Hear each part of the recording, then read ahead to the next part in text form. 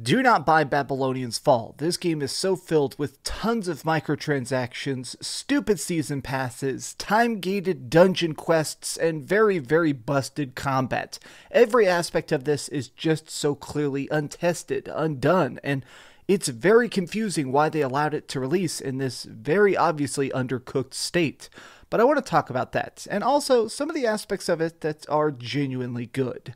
What's up, gamers? Dreamcast Guy here. Now, I've been playing this game for the last couple days because it's something that's interested me before it came out. This is actually the latest project by Platinum Games. These are the people that are some of the most famous crafters of amazing action combat. Think about the fact that their previous games, things like Bayonetta, Vanquished, or even something like Metal Gear Solid Revengeance, they clearly understand speed they clearly understand just the fun of getting a 400 hit combo, and yet here, every aspect of this does not make sense. But let's begin with the setting because that has got to be one of the most bizarre aspects of this. So in Babylon's Fall, we're playing as these prisoners, people that have been taken against their will to a tiny island which has this huge temple at the center of it called the Ziggurat. Now, when you get here, they basically give you this backpack called the Gideon Coffin, which has a 95% chance to kill you, but if it doesn't just instantly stop your heart, it turns you into essentially a superhero. You now have the ability to basically weld any weapon, be able to float in the air, double jump, grapple hook. It makes you a very, very strong person. Now, you probably think, well, I'm a prisoner. I'll just escape. Well, there's a cost to the Gideon Coffin. It slowly poisons you. Every single person in this city is slowly dying off from the stuff called red sun sickness. And so they got this amazing idea to get slaves to try and climb the ziggurat. The first person who can survive climbing all the way up to the top and praying to the gods of the red sun, they think, the legend says, will cure everybody in town. So basically, we are playing as those prisoners. You get to make your own custom character, and some of the customization options are a little bit weird. And then once you're set, you have to try and fight through different layers. Now, the whole crux of this game is basically going through the layers of hell. Each level is set in a different style of environment, from volcanic dungeons to huge sprawling ice zones, and even these areas that look like heaven, which doesn't really make sense. Now, I promise, these look like I'm outside. These are technically part of the ziggurat. Each layer is based on a different layer of Christian mythology. Now, that's pretty interesting, but the monsters themselves, here's where the story starts to really come apart. These things are called the Gallu, and they're like big living suits of armor. Now, at first, you kind of think, okay, are these machines? Are these magic? What are they?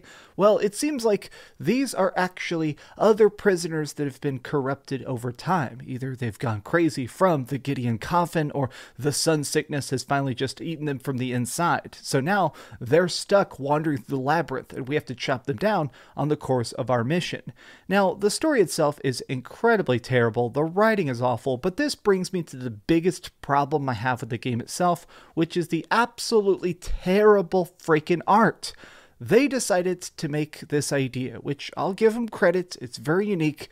The entire game looks like a painting. Everything looks like this very smeary watercolors, which is very cool on the surface because at least it stands out. But the problem is that it makes the whole game look blurry. I recorded this in the most crisp of 1080p 60 frames a second. It's a very, very high resolution game, but it constantly looks blurry and blown out. I actually went into the settings just repeated times. I tried to basically turn down the brightness, mess with the HDR, anything to make it where it didn't look so freaking disgusting. Now, additionally, not only does the gameplay look incredibly bad, but this game clearly has no budget when you actually watch the very terrible cutscenes with the just most cringe inducing plot you've ever heard of, basically it's just paintings. The characters are moving paintings. It'll be a guy like this, and then he moves a little bit. This is straight up, it's borderline not even animation. This is not any sort of fancy interactive cutscenes. There's no real dialogue. It's just people talking at you because we are a silent protagonist. So people just say, oh, we got to get to the next layer of the ziggurat. And then you go there.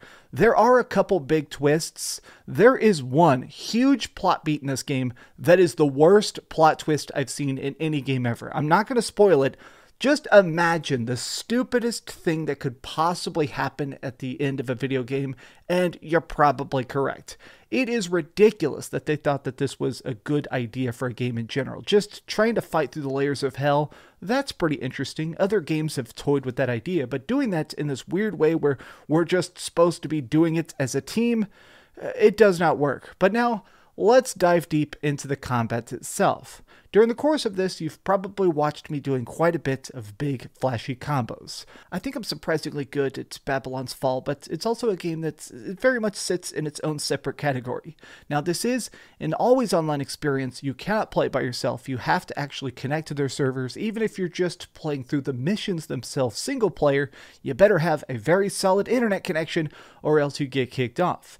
But how does it actually work? Well, the whole thing about your Gideon coffin is it makes it where you can now wield four weapons at once. Now, that's actually kind of neat. It makes it so you basically equip a strong weapon, a soft weapon, and then two special weapons on your back. So, say you put like two giant bows on your back, a sword in your main hand, and a hammer in your offhand. This makes it where whenever you're doing combos, you constantly have to try and build up energy. This is not one of those games where you can just button mash. You can't just press every single key and every single attack and hope it all ends well.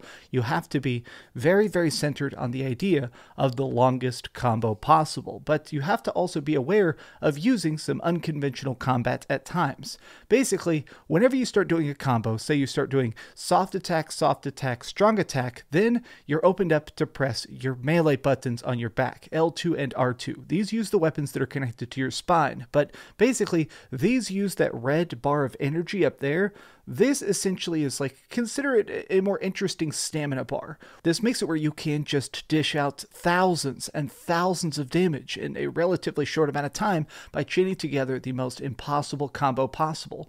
And if you do manage to actually chain this together properly, you can stagger foes, you can make it where they don't fight back, you can break through shields, it's an interesting idea, but there is a big problem with it.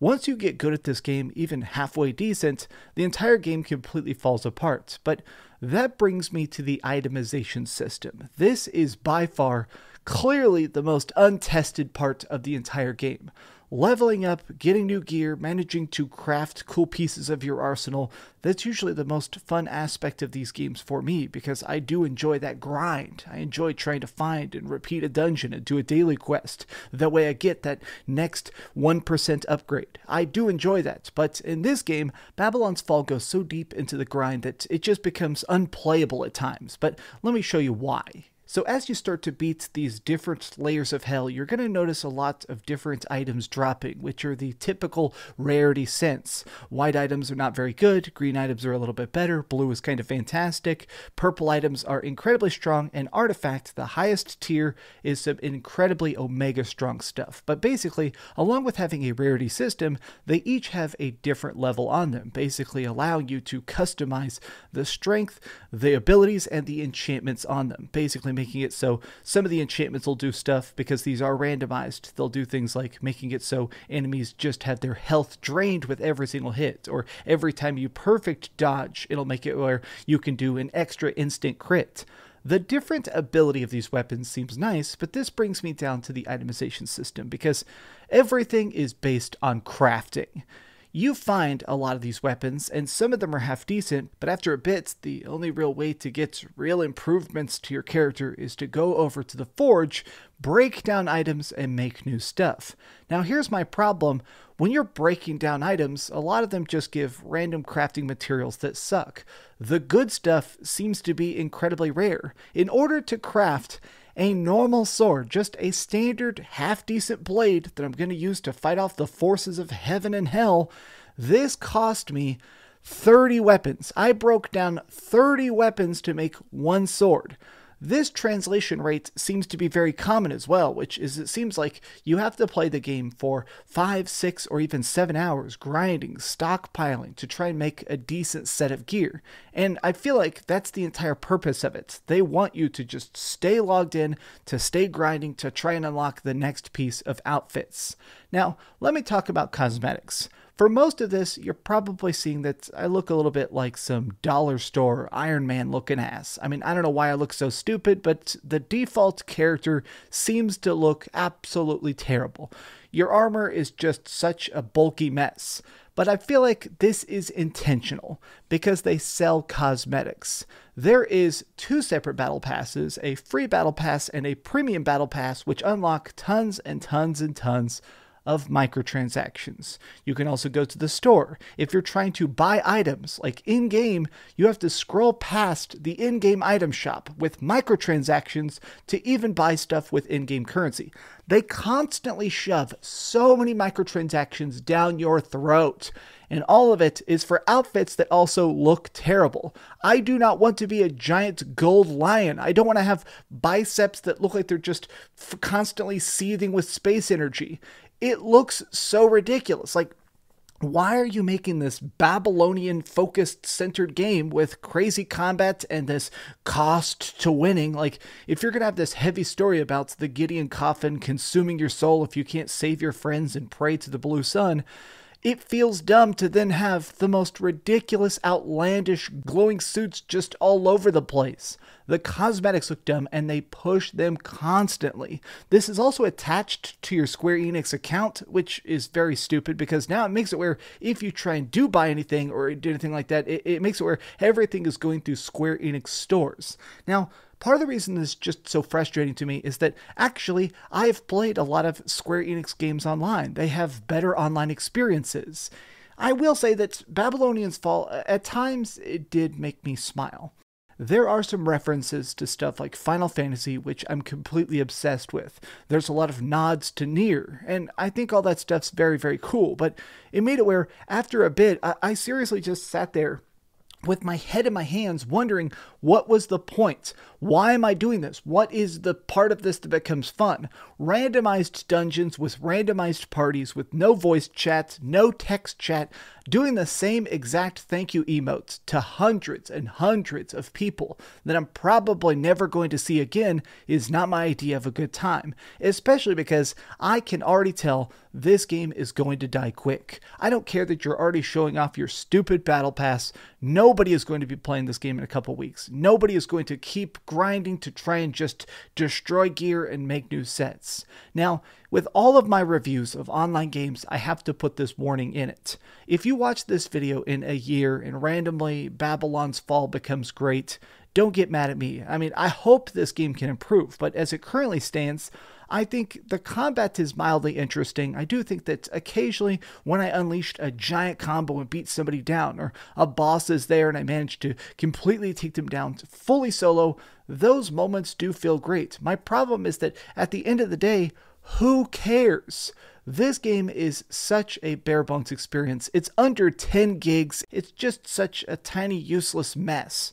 I hate to say this, but there are better games out there. Play something that's actually worth your time. Play Diablo, play Lost Ark, play Final Fantasy XIV, now with a free trial.